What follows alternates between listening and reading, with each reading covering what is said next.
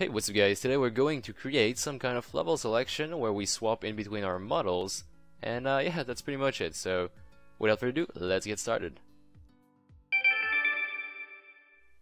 Okay, so first let's take a look at what we currently have on the screen. So over here, you can tell I have four different models and they're all stacked on top of each other right now. So let me just turn three of them off so you can see a single one. So this is model number one. And then if I turn it off, this is model number 2, 3, and 4.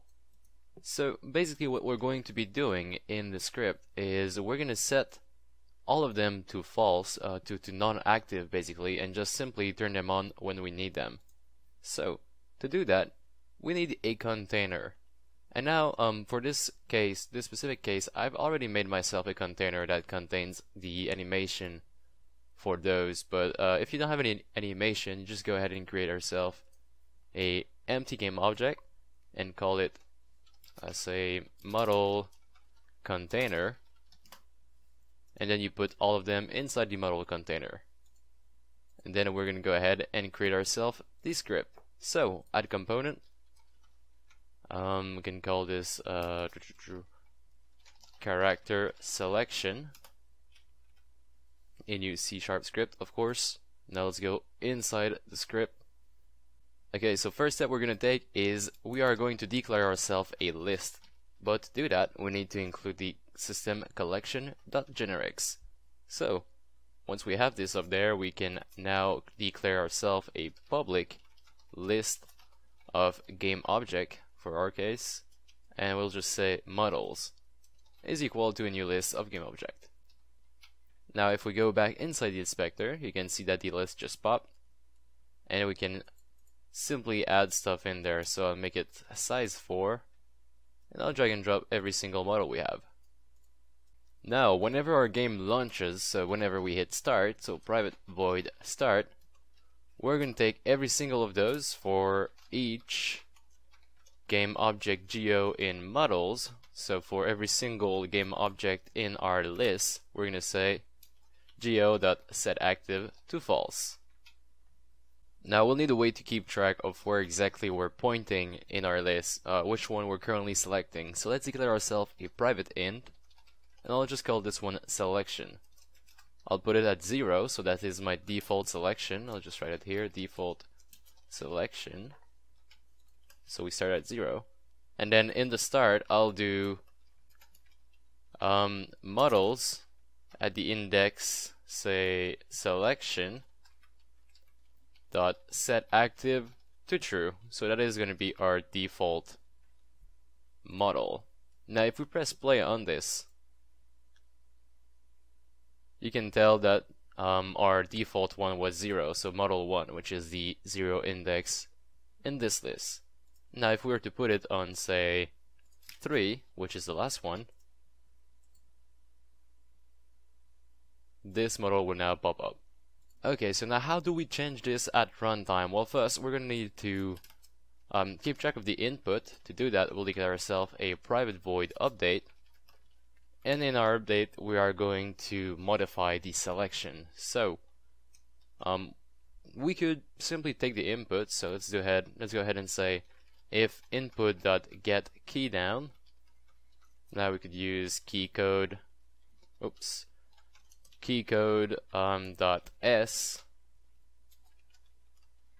Or actually keycode dot w. And then this would do selection plus plus simply. Just like that. And then we do the same thing with s and this is going to be selection minus minus. But eventually we're going to hit the point where the selection is no longer valid. If selection goes beyond if selection is bigger dot um, then models dot count then we're going to say selection is now equal to 0 we do the same thing over here so if selection is smaller than 0 then we do selection is equal to models dot count. Okay let's just go check this out if it actually after we do that we need to um, call our function over here, not a function, but our uh, set active call. So I'm just gonna copy and paste it over here. Same thing. But now we'll we'll have a small error and you'll see it in a second. So as you can see they stack now and the argument is out of range if I go down and also if I go up so we need to limit a little bit more. So there's an error in our um, if over here. Okay so we need to modify this a little bit. So selection can go up to 3 maximum. Since we're 0 base and we have 4 model we don't want selection to go to 4 and now model counts is equal to 4 because this is not 0 base. So what we'll do is we'll change the if selection is bigger than model for if selection is bigger or equal to model.count. And we'll do the same thing over here, so if selection is smaller than 0, actually, if selection is smaller than 0, we do selection is equal to model.count minus 1, just like this. Okay. Now let's hit play and see what happens. So we have the exact same problem we had before because we're not turning off the models and we'll do that just in a second. But now we don't get the uh, out of range error anymore. So let's go ahead and turn off our models. So before we actually do the uh, selection change, or I mean the selection uh, increment, we're going to say model at the index selection set active is equal to false. So we're just turning off the model we currently had and then we're doing the um, selection change. Alright, so now let's try this out. So I press S, as you can see it goes down in the list and if I press W it goes up, just like this. So we're switching model, we're actually turning on uh, turning on the next model and turning off the one we currently had. So this works just fine and this is exactly what we're looking for. Now notice how we can just simply change the selection up here and it is going to change uh, which one we get at the very beginning. Now in a real context what you would do is you would actually have some kind of way out over here so say um, if input get key down and return and then in here you would do something of the sort so uh, player pref dot save or set int then you would set say uh, preferred model and you would give it the selection. You'd have to save which one the player actually chose. So you save the selection and then in the next scene, if you actually load a new scene, so application load level, uh, say game,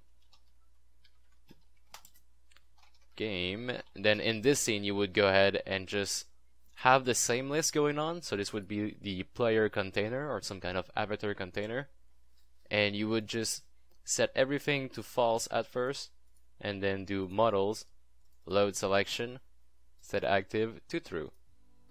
And that's pretty much it guys. If this was helpful to you, please leave it a like. If you have any question or comment, please leave them in the comment section below. Also subscribe for more of these tutorials. Thanks for watching, and I will see you next time.